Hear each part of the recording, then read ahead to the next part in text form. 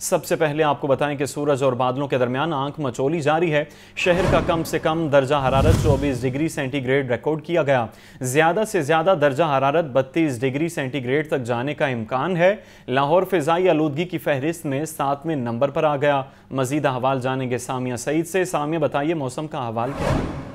जी, बिल्कुल अगर बात की जाए मौसम की तो बागों के शहर लाहौर में जो है, वो सूरज और बादलों की आँख मचोली का हाल भी जारी है। लेकिन यही देखा जा रहा है कि सूरज के जो वार हैं, वो सुबह सवेरे से ही जारी हैं। दर्जा हरारत की अगर बात की जाए तो शहर का जो कम से कम आज दर्जा हरारत है, वो 24 डिग्री सेंटीग्रेड, जबकि ज़्यादा से ज़्यादा जो दर्जा हरारत है, वो बत्तीस डिग्री सेंटीग्रेड तक जाने का इम्कान दिखाई दे रहा है। सूरज भी निकला हुआ है और साथ साथ जो है, वो हवा भी चल रही है। महकमे मौसम याद के दादोशुमार के मुताबिक हवा की जो रफ्तार है, वो अठारह किलोमीटर फ़ी घंटा के हिसाब से रिकॉर्ड की जा रही है।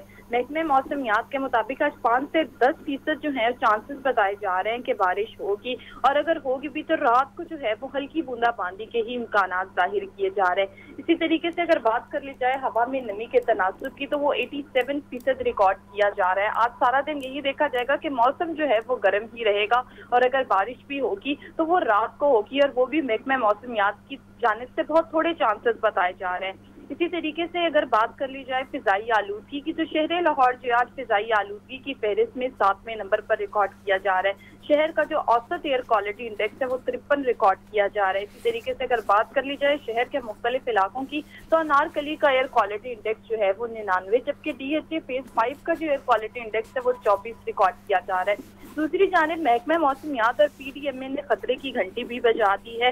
गुजशत रोज बहारत की जानब से जो है वो दरियाए रावी में पानी छोड़ दिया गया था, जिसके बाईस सैलाब की सूरत हाल भी पैदा होने का खदशा है।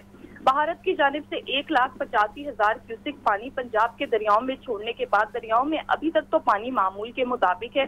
फिर गुजशत दिनों की तेज बारिशों से हमने यही देखा कि पानी का जो लेवल है, वो बढ़ता ही जा रहा था। यही खदशा ज़ाहिर किया जा रहा था कि अगर भारत की जानब से पानी छोड़ा जाता है तो सैलाब की सूरत हाल जो है, वो पैदा हो सकती है।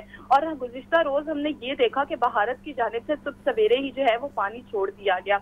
इसके बाद जो है वो पीडीएमए ने पंजाब पीडीएमए पंजाब ने दरियाओं की सूरत हाल पर नज़र रखने के लिए जो है वो कंट्रोल रूम में 24 घंटे मॉनिटरिंग सिस्टम शुरू कर दी है। पंजाब भर में तूफानी बारिशों और रावी सतलुज और इंडिया की जानब से एक लाख पचासी हज़ार क्यूसिक पानी छोड़ने के बाद सैलाबी सूरत हाल का ताहाल जायजा लिया जा रहा है। अगर बात की जाए गुजशत साल की तो गुजशत साल भी यही देखा गया था कि हिंदुस्तान की जानब से एक लाख 73 क्यूसिक जो है वो पानी छोड़ा गया था।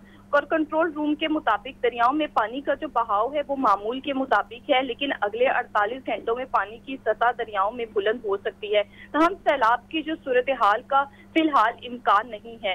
दरियाए रावी में डेढ़ लाख जबकि चनाब में चार से साढ़े चार लाख क्यूसिक पानी गुजरने की गुंजाइश है। और इसके ज़्यादा पानी ने और इसके अगर ज़्यादा पानी ठीक है सामिया सईद मौसम का हवाल बता रही थी। आपका शुक्रिया।